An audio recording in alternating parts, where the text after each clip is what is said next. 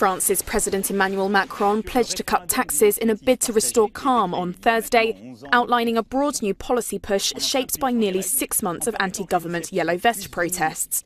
In the first major news conference of his presidency and almost two years into his five year term, Macron is under pressure to settle the unrest that has plagued France since November.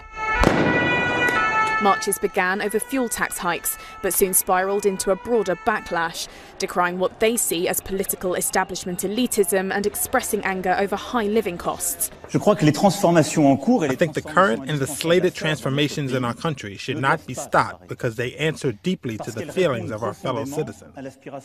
They may not have been implemented quickly enough for some, not radical enough not human enough. But I think sincerely that the directions taken in these first two years, in the eyes of many, were right. Macron's first wave of measures put forward last December did little to calm frustrations among lower income workers, and he struggled to shake off a reputation as a president of the rich since cutting a so called wealth tax early in his presidency. With such criticism levelled at him, opinion poll ratings show his support at around 30%.